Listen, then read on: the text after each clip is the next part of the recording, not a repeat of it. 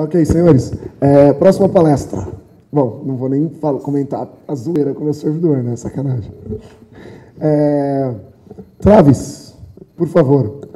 Pessoal, eu não sei se vocês conhecem o Travis Goodspeed. O Travis é um dos mais famosos hardware hackers que tem aí no mundo. Né? Basicamente, nós temos os dois mais famosos aqui na conferência, o Travis e o, o Mike Osman. Ambos estão aqui. Tá? É, a palestra extremamente brilhante e quem gosta dessa área de hardware relacionado a software e o que você pode fazer quando você muda o hardware pelo que você esperava do software, vai adorar essa. Boa palestra. Howdy, y'all. Are we ready to begin? Okay, uh, does a shot? Um, does anyone need a shot?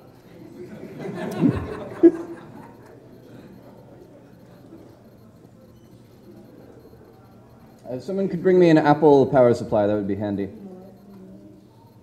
Okay, uh, so today I'll be telling you about the Southern Appalachian Space Agency, which happened when I was drunk on eBay and purchased a satellite dish that was surplus from the United States Navy.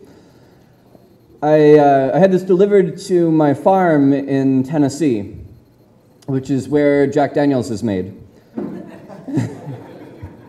which, coincidentally enough, was what I was drinking when I, I bought the satellite dish. And then my friend and I repurposed this satellite dish to be able to track satellites that are in low Earth orbit. Um, most satellite hacking is done against satellites in geostationary orbit because they're a, a steady target. So if I take a ham radio and I aim an antenna south from Tennessee, I will hear Portuguese over the radio because Brazilian truck drivers are reusing um, American satellites from the 1970s in order to bounce traffic um, across their truck driving routes. But I wanted to track the satellites that were moving very close to the ground, the satellites that are moving very fast in the sky and that move through the sky so quickly that you can't leave an antenna pointed at them because they'll move through the entire sky in 15 minutes. Um, examples would be the International Space Station or um, the telephone satellites, uh, so Iridium and Globalstar, these move through the sky very quickly, and you need custom hardware and software to track them. The software that's available for tracking them isn't very good, so I had to rewrite my own from scratch. Um, and my friend Colin Mulliner demands that we have a, a bet going as to who can put more dinosaurs on stage. So I score one point. Um, I, I, did this work thanks to the help of uh, Fabienne and SkyT, two friends of mine from Berlin. Um, and it, it sort of built upon work from Adam Laurie and Jim Geovedi, who did earlier work in geostationary satellites, the ones that are so high that they stay in one space uh, relative to the Earth. Um, and also to the good neighbors at Dartmouth, um, who were um, around for a lot of the conversations involving this. Now, you can't have a space agency, in my case, the Southern Appalachian Space Agency, without a mission patch. And this is our mission patch. It's based upon my people's native culture. Um, we have lots of um, like cinder blocks and cars in cinder blocks, and it's traditional that you'll have many unused cars in your yard in Tennessee. So I have here cinder blocks beneath my satellite dish, um, and this is factual. The dish really is sitting on cinder blocks. Um, on the right, you have an alien. Um, there are these little green men about this tall. We call them boogers. in the background, it's kind of hard to see. Right about there. Um, that's a moonshine still, because it's traditional to make whiskey at home where I come from. Um, in the sky, you can see some space garbage and the International Space Station, and there's a glove and a banana. um, because, you know, they, they have to shoot their garbage downward or it stays in the same orbit that they're in. Um, so that orbit can get cluttered as pieces break off. Um, and then uh, on the left, there's a man with a neck beard and a shotgun. And he has the shotgun to defend himself from the booger on the right.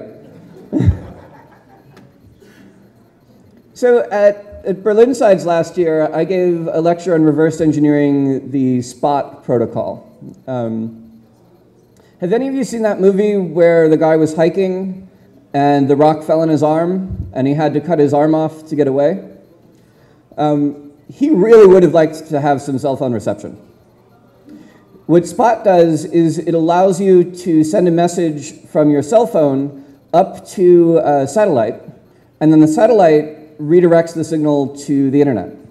So even if you don't have a cell phone signal, you can still transmit a message from the middle of the desert or from the middle of the ocean. Um, so I reverse engineered this protocol. Um, first, I reverse engineered the Bluetooth that's used to allow the phone to talk to the spot. And then I reverse engineered the satellite link, which runs at 1.6 gigahertz. It is completely clear text, it is unencrypted, and if you have a recording of this signal, it's very easy to parse it and to interpret it. Uh, it contains the serial number, GPS coordinates, and uh, whatever text message you send up. Uh, so if you say like, hey mom, I'm all right, I'll get that. If you say, oh dear God, the rock is crushing my arm, please send help, I'll get that. Uh, this is a photograph of the device. It's about that big. Um, and these are really easy to program. Their Bluetooth protocol is very simple. Um, and they're easy to reverse engineer. To reverse engineer the, um, coffee is complicated. Uh, to reverse engineer the Android application that initially controlled this, um, Android, at least the CyanogenMod ROMs, contains a tool called HCI dump, which will dump a log of all of the Bluetooth traffic that that particular device has had. This is important because um, Bluetooth is terribly difficult to sniff externally, but if you sniff it from one of the devices that's supposed to be in the conversation, you can get a very good recording. Um, and on the right is a screenshot of what the output looks like. So you can get uh, Google Map results of where you were. In this case, I was in Philadelphia walking west across the Schuylkill River. When you have the recording, what happens internally is that the spot sends a long series of uh, a pseudo-random code for either a zero or a one. But when it switches between these, there's a little pop on the radio. So when you look at the recording, um, which goes downward in, in this recording, uh, you have a number of zeros first, and then whenever there's a switch from a zero to a one, you have a pop. Those are the little circles. And the circles happen between the bits. The circle is not a bit itself. Um, so the status was that I know the protocol, and I can sniff the uplinks, um, but I want the downlinks. Um, I don't want to see people in my same city talking to this satellite. I want to see people on my same continent talking to this satellite. And the way to do that is to sniff the downlink. But that requires a satellite dish, um, and it requires a moving satellite dish because these satellites move through the sky very, very quickly. So I took a look at Adam Laurie's tools for playing with geostationary satellites, which he published in 2008 and in 2010. He used a KU band receiver with a DVB-S television card. This is the same sort of setup that you would use for receiving satellite TV in Linux. Um, and then he made the, the, television dish move by a DiSEqC motor. Um, a DiSEqC motor can only move left and right. It's not able to move up and down. Um, and his tool is available. It's called SatMap. It's at this URL. This is a, a photograph of his feed scanner. Um, what this tool is doing is it's, um, it's trying every frequency on the current satellite in order to look for video. And the, uh, this movie playing on the left is coming down from the TV satellite. Um, you can also make maps this way. I made this map by moving one of my dishes left and right and then recording which frequencies are being used. So the x-axis is the azimuth, and the y-axis is the frequency, and wherever you see a dot, there's a transmitter. You can see that satellites which are next to each other try not to use the same frequencies. Um, so as you move from left to right, there are gaps. And you'll also see that some frequencies are just like a little pinprick that's away from the others. Um, those are, I think, are physically separate satellites that are just near each other. Um, and it, at each step in azimuth, I'm seeing about three degrees of the sky in width. And if I go much further east or west of this diagram, my dish is misaligned. Um, because the geostationary satellites form a sort of ring in the sky. This is called the Clarke belt, after Arthur C. Clarke. Um, because it's a curved shape and I can only move left and right with this dish, I can't like see things that are in the wrong position in the sky. So the advantages of it are that there's cheap hardware available. You can just buy a kit to run Adams tools. Um, you'll pay about 200, 250 US dollars. The, um, the protocols for talking to these motors are standardized. So your machine doesn't really care what brand of motor you have. You, do, you don't have to do much more than um, simple rewiring. Um, and you get TV signals with video feeds, so it's really easy to point at an incoming signal and say, hey, I got that. Um, you'll also find weird signals, like um, on the news when they interview people. Very often the interviews are bounced over this network. Um, so you can actually watch the interviews live, and you can sometimes see embarrassing footage where people say things when they think they're off camera. Um, and there are also TCP IP packets going across this network. Um, so if you sniff by this sort, you can actually catch internet downlink traffic, um, which is sort of like sniffing half of a Wi-Fi connection. You see what the access point says to the user, but you do not see what the user says back to the access point. But there are disadvantages. It only works with geostationary satellites. So unless it's 24,000 miles in the sky, exactly, and staying in the same place, orbiting once per sidereal day, exactly, you're not going to be able to receive it. And it's very slow, very inaccurate tracking. Um, so my diagram before was measured in ticks and not degrees on the x-axis. That's because my motor isn't accurate enough to properly tell me how many degrees I've moved. Uh, I would like to be able to move a fraction of a degree perfectly accurately and repeatably, and you can't do that with uh, DiSEqC motors. You're also limited to standardized signals. You'll find TCP IP, you will find video, and that's it. And a lot of it is encrypted and becoming more encrypted. Um, and the general rule of cryptography is that um, satellite TV providers are the only ones who do it right. Uh, they, they lose a hell of a lot of money whenever anyone can make fake receiver cards. Uh, so they've invested a fortune in preventing you from receiving these encrypted signals. So I bought a satellite dish. Um, this is my dish being removed from uh, a Navy warship. It's a civilian dish, but the, um, uh, the ships have to have all sorts of communication methods. So you might also be able to find one of these same dishes from, say, a high-end yacht or um, a cruise ship. Uh, my dish is a Felcom 81. It's a one-meter dish intended for use with Inmarsat. Um, it has stepper motors for azimuth, elevation, and tilt. Um, because the idea is that this dish would be put at the top of a ship's mast, and as the ship rocks, this dish can correct for the rocking. I paid $200, $250 for this on eBay. Um, it cost me $200 for delivery, but luckily the guy I bought it from wanted an excuse to drive near where I was. Um, if not, I would have had to pay a king's ransom and airfare to have it delivered. Um, so I'd recommend that if you wanted to repeat this work, you find a port city and someone who repairs yachts and try to buy a dish from them cheaply. Um, and it has spinning gyroscopes for stability. So the way that this thing can tell how the ship is rocking beneath it, because this was designed before the iPhone. This was designed before MEMS was available. So you couldn't just have an electronic accelerometer. You had to have gyroscopes.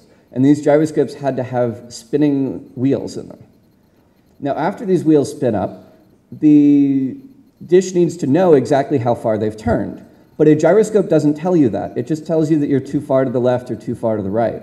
So it actually has motors that move just the gyroscopes. so that it can measure the difference between the gyroscope and the dish in order to be able to turn a, a specific and known number of degrees. Um, unfortunately, the software that it ran was closed source and antique. Uh, this runs on an 80286 chip internally. It can't even run um, Windows 95. Um, so I built my own software to run on it, which I call the SASA framework, or Southern Appalachian Space Agency.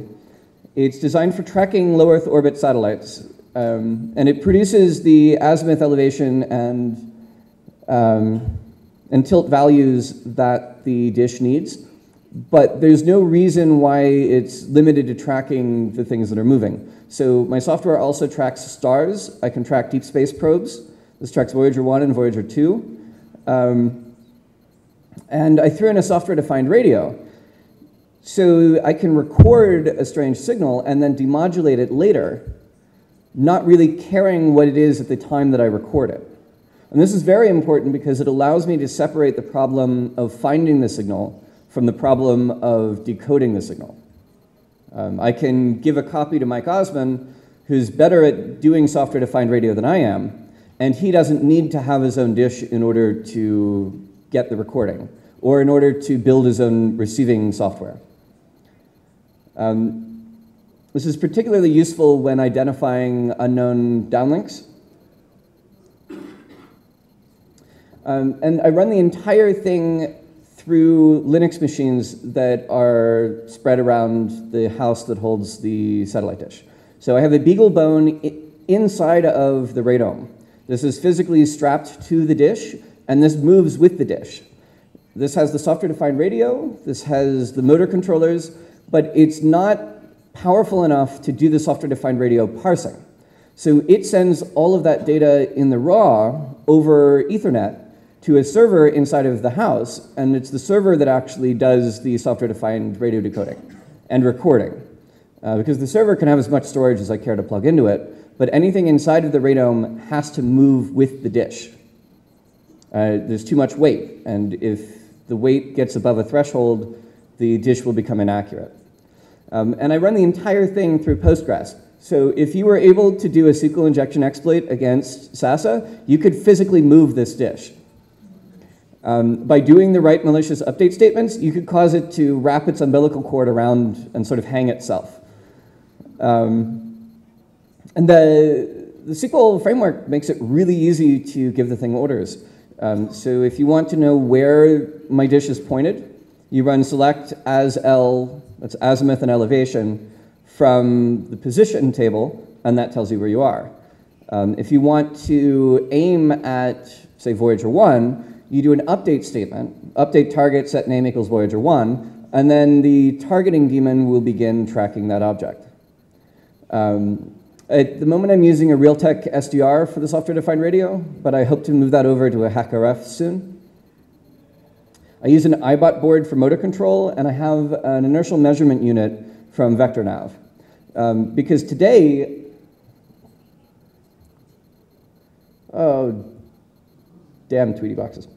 Um, today you can afford to have an inertial measurement unit Whereas when this dish was designed, an IMU is the sort of thing that you would only have in, say, a cruise missile. Now we all have them in our cell phones.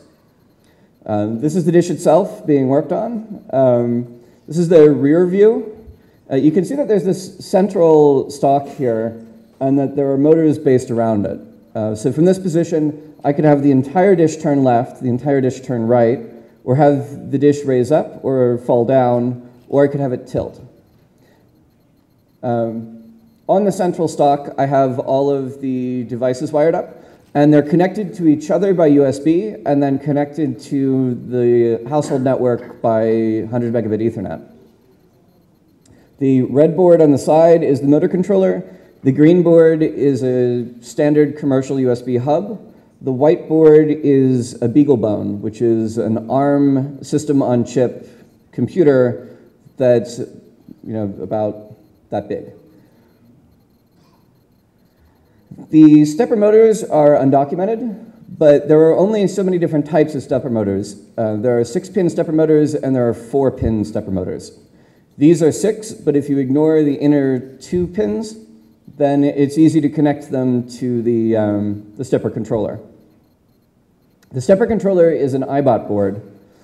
Um, I is German for egg, and uh, the two, well, the, the pairs of connectors at the top, there are eight pins in total. Those are for motor one and motor two.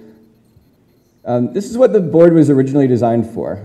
This was um, a toy that paints Easter eggs using a pen and moving the egg around. Um, but this same motor controller is powerful enough to move that large satellite dish because of gear reduction. The, uh, the dish itself has small motors that are connected to pulleys. The pulleys reduce the movement but increase the torque so that the small motors on the satellite dish are enough to aim the dish. As a backup, in case I forget where my dish is, I have a webcam on the back. Um, and this white thing here is the radome. That's my brother's lovely car on the left. That's my father's lovely truck on the right. Um, so th this radome has like a white inside, and the sunlight comes through it just a little bit because this is fiberglass. So we painted the radome so that the webcam can look out at the radome, and then if there's a software bug or if you know, one of you were to be a jerk and to run a SQL injection exploit to make my dish forget where it is, I can repair its positioning remotely. And this is important because I built this in Tennessee, and Tennessee is a long way away from any place with a good airport. So you know, it takes me a long time to get to Tennessee, and it takes me a long time to leave. By painting the radome like this, I can remotely repair it when simple things break. The software also runs through this Postgres framework. Um, so this is a photograph of SASA Commander, which is the live command and control utility. All of these red entries are satellites and the green one is the satellite that's being targeted. Uh, the crosshairs show at which point in the sky the uh, dish is aimed. And as these satellites move through the sky, whichever one is being targeted will be followed by the dish. So GOES 3 sort of hovers in the same region of the sky, but it moves up and down a lot. And I can just leave this alone for hours to follow that target. Um, uh, could we dim the lights in the front just a bit? These uh, screenshots are hard to see. So these white pieces in the background, uh, those are stars, and I can actually project the same star map onto the SASA view as you would see in the night sky. So if you're using this at night, you can look up in the sky and actually visibly see by constellations which part of the sky you're targeting. That's a bit better. Thank you. Um, now, this can also do a polar view. Um, so in this case, you're seeing like a top-down view on the satellite dish, whereas here you see a first-person view, like as if you were looking out from the dish. Um, by comparing the two, you can start uh, following things that are harder to track. Uh, for example, Polaris is the North Star. It's just in the center, directly up uh, from the center of the circle. Um, that's either at the extreme left or the extreme right of the standard view. So the polar view allows me to see that. Um, this can also run on cell phones. So this is my Nokia N900 controlling the SASA dish. Um, and uh, in this screenshot, I'm connected over Wi-Fi, but in places where there's good 3G service, I can actually develop the dish's software on public transportation. Um, so a significant portion of this development I did from the subway in Berlin. They have good uh, network connectivity there, so I would just you know, SSH over to the server, open up an Emacs session, and begin hacking away, and I could do that remotely. By tunneling the Postgres process, then my same client could run. I also have this running on my Nokia N900, uh, which is terrible for development because, uh, sorry, my Nokia N9. This is terrible for development because it doesn't have a keyboard, um, but it's really cool to be able to just pull out a cell phone and um, order the dish to do something. Um, this is a, a program called Viewpoints from NASA. This is particularly handy if you're trying to find a satellite, but you don't exactly know where it is. So what you do is you program the dish to swing through the sky and to look around the frequency that you know the transmission will be made on. Um, and then whenever you see it pop up, you can record those times. And this software allows you to deal with large data sets. So you can, um, you can take all of those spot recordings of, uh, you know, this frequency was in use with this strength at this time um, like for months, and you can take all of the data for those months and sort of work with it until you've identified how to select the satellite you're looking for, and then run it backward through a log from the prediction database to figure out which satellite was in that piece of the sky at that time.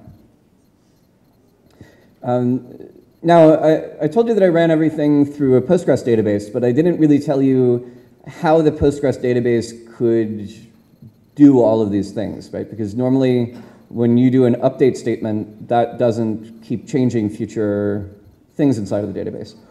So I built this all around multiple Unix daemons, which run throughout my home network. Um, I have one daemon that does nothing but orbit predictions. Um, so it will predict where the satellites are, and then it will make an update statement to the database table for every thing that it's tracking. Um, I have another daemon that grabs NORAD two-line entry um, elements.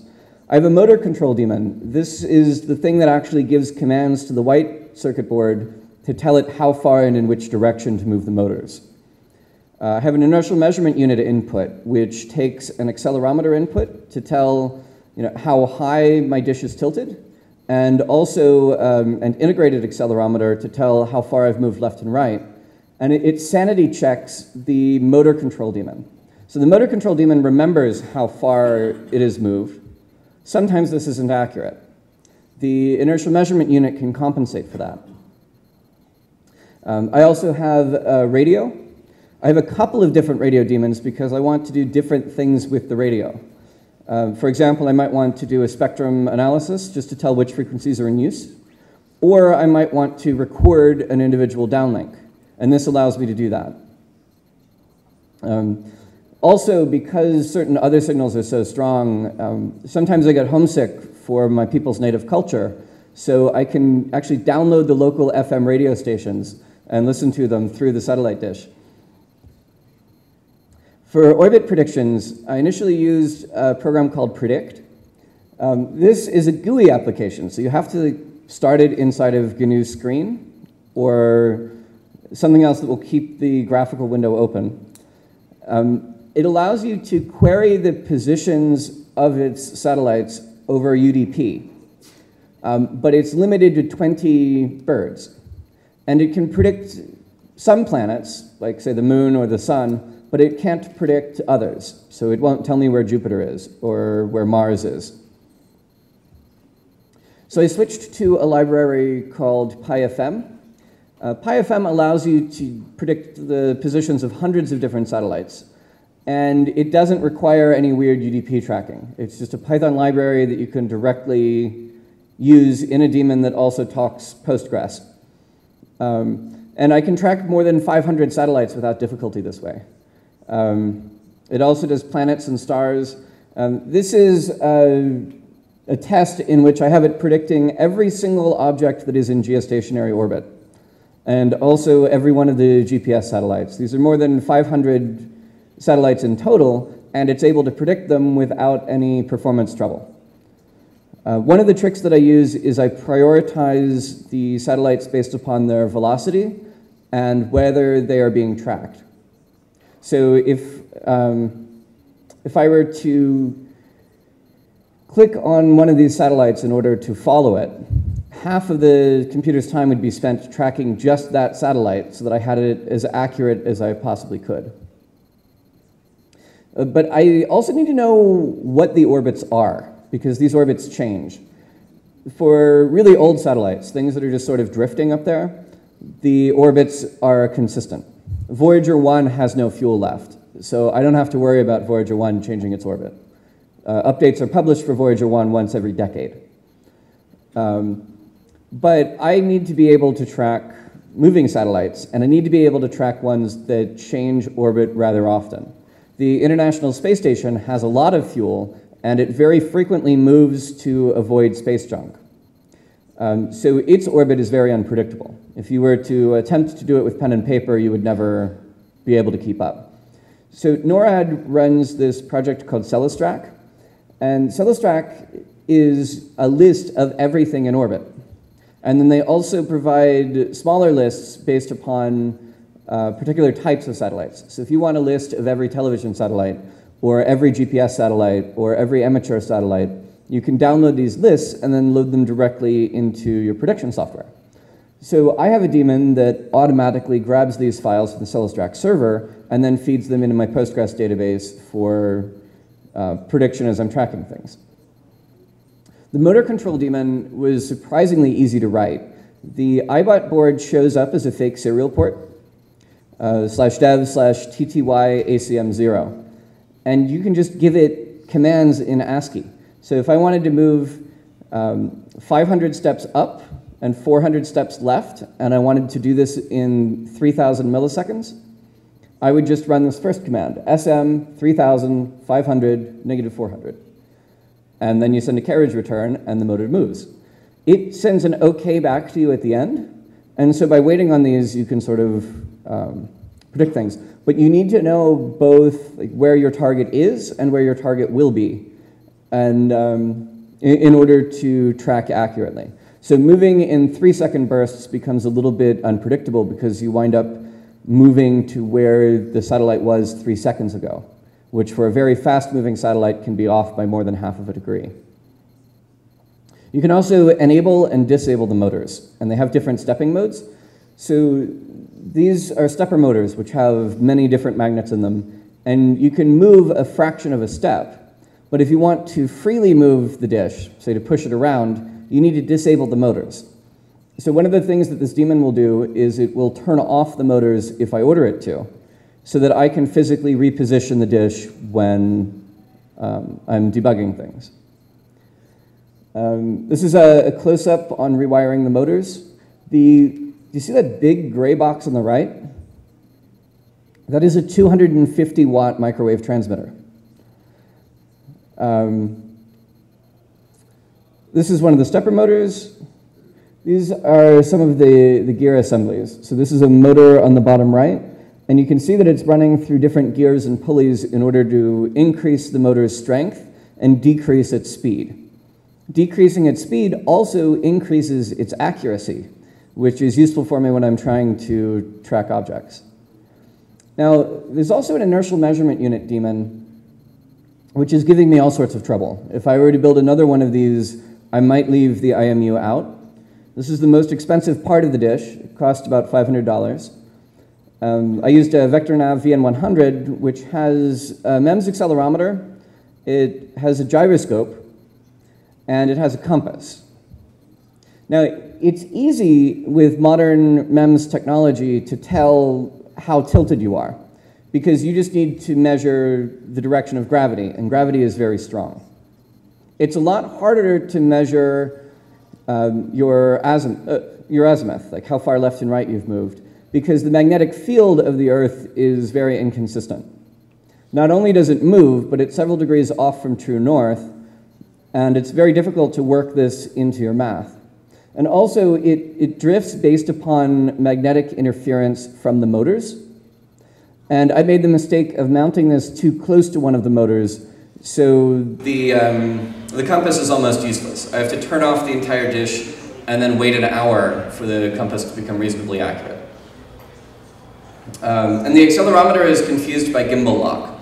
So if you have this giving you a vector instead of what's called a quaternion, the, um, the device becomes confused if it's pointed straight up. Um, just like in old jet fighting games, if you try to go straight up, you remember how, uh, like, if you look to the sky in, um, say, Quake 3, and then you turn, you'll spin very, very quickly?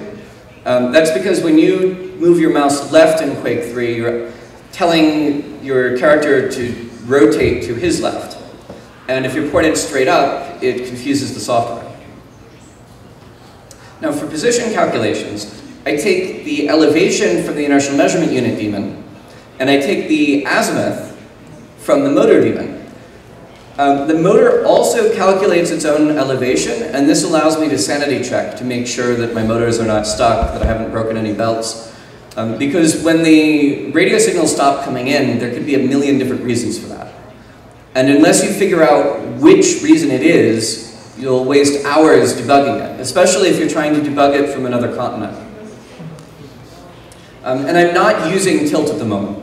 So even though my dish can tilt left and right, I don't have an immediate need for that because I'm using it on solid ground instead of on a ship. Um, now I have radio daemons, which run through my software-defined radio. There's a spectrum analyzer. Uh, this records uh, a given signal, takes the fast Fourier transform, and then it tries to figure out how strong the signal is on each frequency, and also how that strength varies with the error in position. Um, in order to figure out if my dish is just a little bit off to the left or to the right, or a little bit too high or too low, um, so that I can correct these things afterward. I also have a downlink recorder, and this just takes the raw output from the software-defined radio and runs it directly into a disk, where I can grab it later.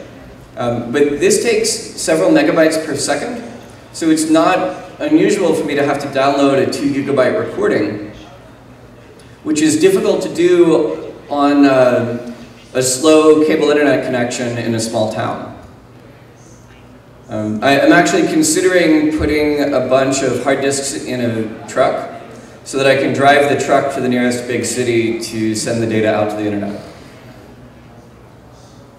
Um, and these just produce tables within the database that you can query. So there's a spectrum data table that contains the position of the dish, the time, the signal strength, the frequency, and the name of the satellite that I was targeting. Um, and this is enough to figure out whether uh, a signal is spurious, like if it, if it just came on for a little bit, or if it's actually a consistent broadcast of that satellite. Um, this is what I edit with, uh, this is what I view with viewpoints. Um, now, viewpoints presents all of this data as a giant scatter plot using OpenGL. and then you sort of color the points by viewing them from different axes and then selecting the ones that you find interesting.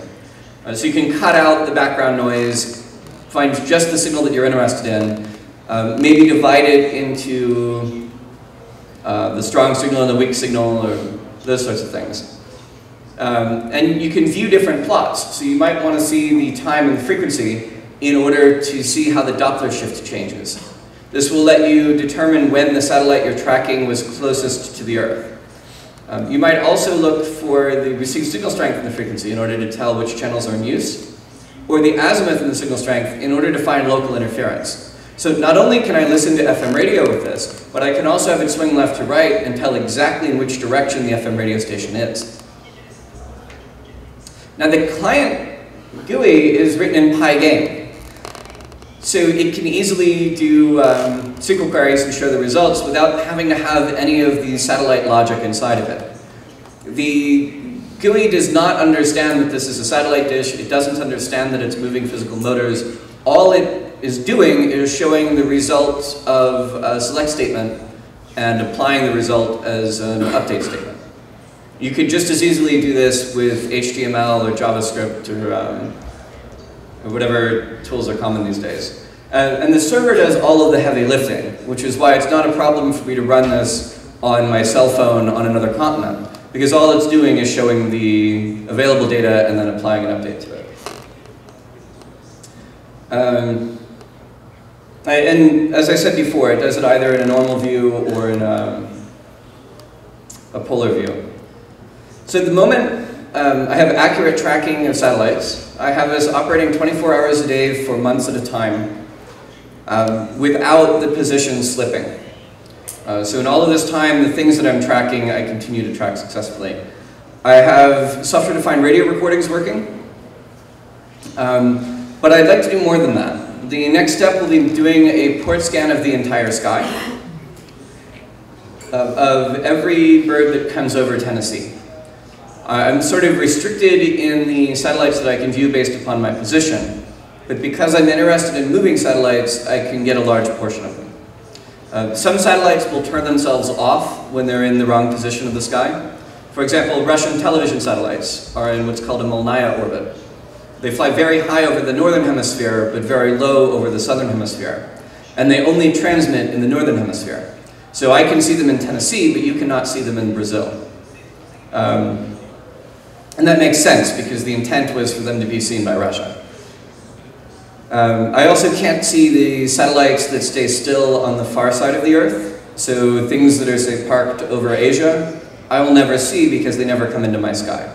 But I can get everything else. And I can take software-defined radio recordings of everything else by first identifying the frequency that they use and then taking a recording on that frequency. Um, the result of this would be several terabytes in size, but it would be one hell of a data set to play with. Um, I'd also like to build other ground stations. So the software should be portable to new hardware, and it should also be portable to having more than one server. And I have a rather large yard, and I can buy more of these things, set them up with antennas on different frequencies, and then have a, a sort of array of satellite dishes watching the sky.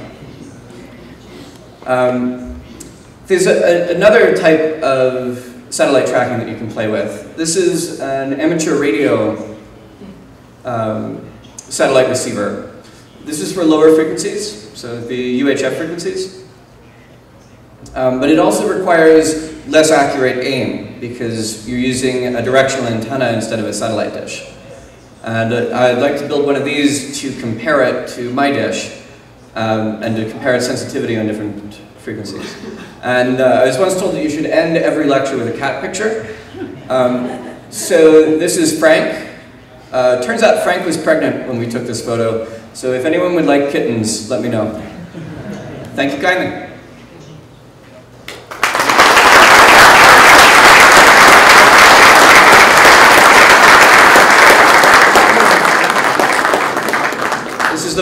The point where Edmund tells me whether or not I have time for questions. Okay, I do have time. Are there any questions? Perguntas, galera? No? Great. Who needs a shot then? Who needs a shot? Come on up. Great. Thank you kindly.